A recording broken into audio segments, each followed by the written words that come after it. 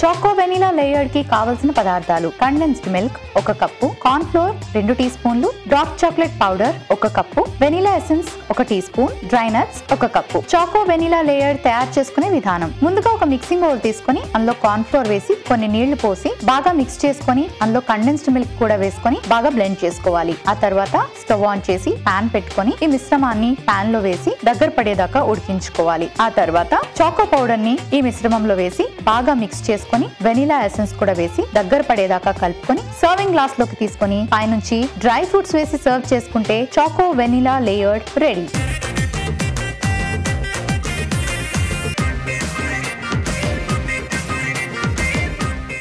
ఇప్పుడు యూట్యూబ్లో ఈటీవీ అభిరుచి ఛానల్ ఉంటుంది.